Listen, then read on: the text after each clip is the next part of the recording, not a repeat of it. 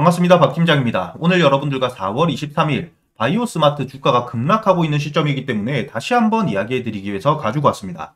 어제자 4시, 장 종료하고 4시 이후에 단기 과열 종목으로 지정이 되면서 주가가 조금 떨어질 수 있을 거라고 생각을 했지만 오늘 너무나도 큰 폭으로 하락을 했기 때문에 제가 유튜브 라이브 방송 통해서 여러분들에게 8시 반부터 오늘 5천원 밑으로 내려가서 만약에 시작을 한다면 우선 손절을 하시는 게 맞다 이야기를 드렸었습니다. 제가 단순히 이건 손절로 끝날 종목이 아니기 때문에 매도 이후에 여러분들이 지지라인 확인하고 단기 과열, 단기 매매 진행 방식이 끝나는 3일 뒤에 다시 한번 저점 확인하고 매수할 수 있기 때문에 우선은 매도하라고 이야기를 드렸던 거고요. 현재 지금 5천원 밑에서 주가 지지받아야 될 라인 깨고 내려가니까 큰 폭으로 하락하고 있는 모습 여러분들도 보이실 겁니다. 그렇기 때문에 여러분들이 지금 걱정이 참 많으실 텐데 우선 앞으로 여러분들이 어떻게 대응을 해야 될지 확실하게 이야기해 드리도록 하겠습니다. 지금 시점에 매도를 하시는 거, 지금도 홀딩하고 계시는 분들은 손절을 할 시기 놓쳤다고 보셔야 되기 때문에 여전히 홀딩 유지하시고요. 우선이 4,250원 위에서 지지받는지 이 부분부터 체크를 하셔야 됩니다. 지지를 받게 된다면 지금 여러분들도 아시겠지만 이 바이오 스마트 자회사를 통해서 구리에 대한 독점을 하고 있는 시점이기 때문에 현재 구리 가격 증가로 인해서 충분히 다시 한번 반등을 강하게 해줄 수 있다 이렇게 생각을 하셔야 됩니다. 제가 이렇게 말씀드리는 게 지금 차트에서도 보시게 된다면 지금 이렇게 큰 폭으로 하락을 하고 있는 시점에도 이 거래 대금이 말도 안 되게 줄어 있는 게 보이실 겁니다.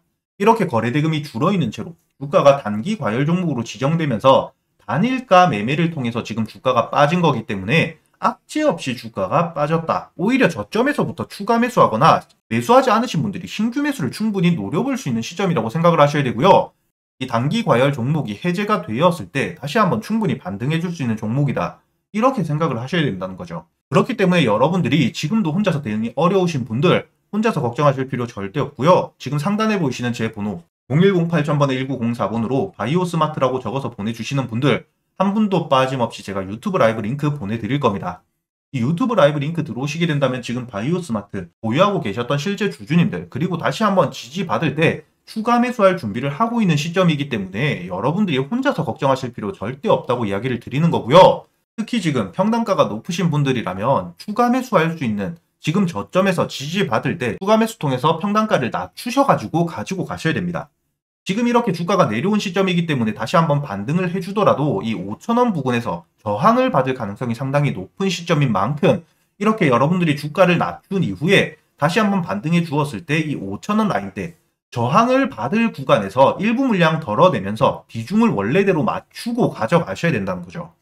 이렇게 여러분들이 대응을 어떻게 하느냐에 따라서 여러분들 수익률 자체가 달라지는 게 주식이기 때문에 단순히 바이오 스마트는 지금 주가가 내려갔기 때문에 손절로 끝 아니면 고점에서 매수했기 때문에 이미 손절 라인 놓쳤다. 무조건적인 홀딩으로 대응하실 게 아니라 추가적으로 지지를 받을 구간, 지지가 확인이 된 구간에서 여러분들이 평단가를 낮추시고 높아진 비중에 대해서는 다시 한번 주가가 반등해 주었을 때 이 저항을 받을 수 있는 강한 저항을 받을 수 있는 라인까지 올라왔을 때 비중을 원래의 비중으로 줄이면서 이렇게 평단가만 낮추면서 여러분들이 가져가는 대응을 하셔야 된다는 거죠. 이 부분들에 대해서 여러분들이 혼자서 어려우신 거 너무나도 잘 알고 있기 때문에 유튜브 라이브 링크 통해서 유튜브 라이브 방송 키고 제가 8시 반부터 여러분들과 실시간으로 소통하면서 이야기를 드리고 있기 때문에 여러분들이 지금부터는 혼자 걱정하실 필요가 절대 없다는 겁니다. 그리고 이 바이오 스마트 자회사 TCT에 대해서 앞으로 예정 매출 추산뿐만 아니라 핵심적인 계약 일정들 그리고 이 구리 가격에 대한 전망들에 대해서 모두 확인하면서 제가 이야기 드리고 있는 거기 때문에 여러분들에게 핵심적인 이 재료 그리고 여기 보시게 된다면 각 증권사별로 세력들의 물량들을 추정하는 부분들이 있는데 이를 통해서 여러분들에게 이 수급에 대한 이탈이 있는지 없는지 모두 이야기를 해드릴 수가 있다는 거죠. 이 내용들에 대해서 모두 정리해두고 이 내용들을 토대로 여러분들이 어떻게 대응을 하셔야 될지 이 바이오 스마트에 대한 대응 방법 모두 정리되어 있는 보고서도 함께 보내드릴 테니까 지금 이 바이오 스마트에 대한 대응이 고민이 되시는 분들은 상단에 보이시는 제 번호 010-8000번에 1904번으로 바이오 스마트라고 적어서 문자 보내주시고 이 보고서에 대해서도 여러분들이 모두 100% 무료로 받아가시면서 대응 마음 편히 하셨으면 좋겠고요. 그리고 여러분들이 바이오 스마트 다시 한번 주가가 반등할 때까지 기다리는 거 단순히 바이오 스마트 한 종목만 가지고 기다릴 수가 없겠죠. 그렇기 때문에 제가 여러분들에게 매일같이 시가 매수할 수 있는 이 단타 종목 그리고 저점에서부터 여러분들이 매수할 수 있는 스윙 종목들에 대해서도 모두 알려드리고 있습니다. 제가 단순히 이렇게 말로만 드리는 게 아니라 오늘 시가 매수했던 종목은 어떻게 진행되었는지 바로 보여드릴 텐데 오늘 제가 여러분들에게 보내드렸던 시가 매수 단타 종목들 시간을 보시게 된다면 오늘 장 전에 제가 보내드린 게 확인이 되실 겁니다. 255분 문자 주셨던 분들 한 분도 빠짐없이 모두 100% 무료로 보내드렸고요.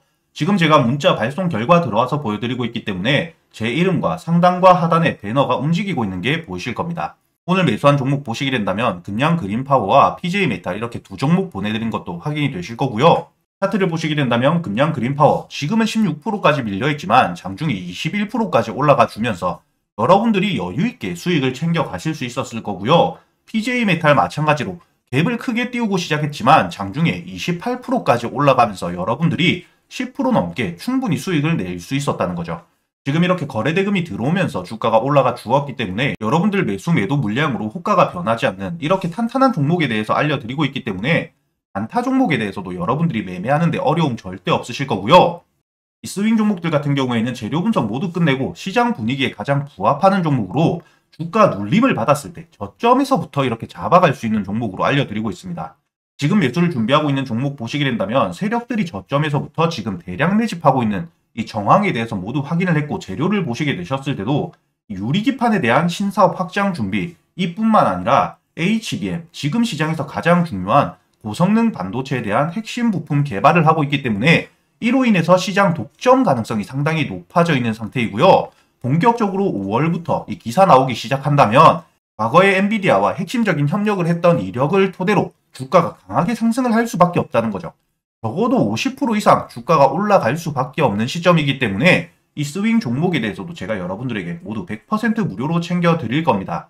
그렇기 때문에 최근에 매매하시면서 힘드셨던 분들 혼자서 고민하실 필요 없이 지금 상단에 보이시는 제 번호로 안타 혹은 스윙이라고 여러분들 매매 스타일에 맞게 함께 적어서 보내주시면 제가 이 종목들 그리고 스윙 종목들에 대한 보고서 하나도 빠짐없이 모두 챙겨 드릴 거고요. 이 스윙 종목도 제가 이렇게 단순히 말로만 드리기보다 최근에 수익을 어떻게 내드렸는지 지금 바로 보여드릴 수 있도록 하겠습니다. 가장 최근에 매매했던 이 SP소프트 4월 8일에 매수했습니다.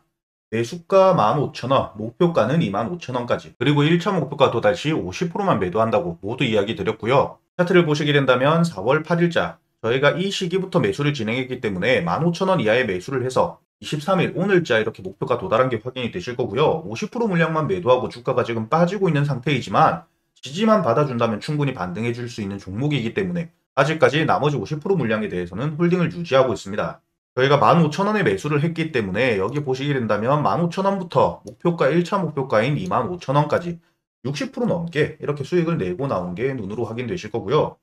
그리고 3월 26일에 LS 일렉트릭 95,000원 이하의 매수해서 목표가 15만원까지 마찬가지로 1차 목표가도 다시 50%만 매도한 게 확인이 되실 겁니다. 차트로 확인을 해보시더라도 저희가 이렇게 3월 26일 이 시점에 9만 5천원 이하의 매수를 했기 때문에 여러분들이 여유있게 매수를 해가지고 1차 목표가였던 15만원 도달 이후에 50% 물량은 아직도 마찬가지로 유지하면서 추가적인 수익 이렇게 챙겨가고 있는 거죠. 마지막으로 살펴보실 이 피롭틱스 마찬가지로 3월 6일에 매수를 한 이후에 매수가 13,500원, 목표가는 1차적으로 27,000원까지 제가 알려드렸습니다. 히롭틱스도 지금 보시게 된다면 13,500원 이하에 충분히 여러분들이 여유있게 매수를 할 수 있었다는 게 확인이 되실 거고요. 1차 목표가인 27,000원까지 여러분들이 여유있게 가져간 이후 50% 물량은 아직까지 홀딩을 하고 있기 때문에 지금 보시게 된다면 이렇게 저점에서 매수했기 때문에 고점 찍고 주가 눌리는 시점에도 여러분들이 이렇게 지지를 받아야 될 라인까지만 깨지 않는다면 홀딩하면서 추가적으로 여러분들이 가져가면서 수익을 낼 수가 있다는 거죠. 이렇게 스윙 종목에 대해서는 확실히 눌림 구간에서 여러분들이 추격 매수를 하는 게 아니라 본격적인 상승이 나오기 이전에 여러분들이 매수할 수 있게끔 제가 책임지고 모두 알려드리고 있기 때문에 여러분들이 문자를 보내주실 때 이렇게 단타 혹은 스윙이라고 여러분들 매매 스타일에 맞게 적어서 보내주시면 제가 이 부분 하나도 빠짐없이 모두 챙겨드릴 겁니다. 그렇기 때문에 최근에 매매하시면서 손실이 크셨던 분들 내가 사기만 하면 고점 찍고 내려간다 하시는 분들 이렇게 저점에서부터 여러분들이 상승 모멘텀이 확실한 종목으로 안전하게 매매하면서 계좌의 수익 쌓아갈 수 있었으면 좋겠습니다.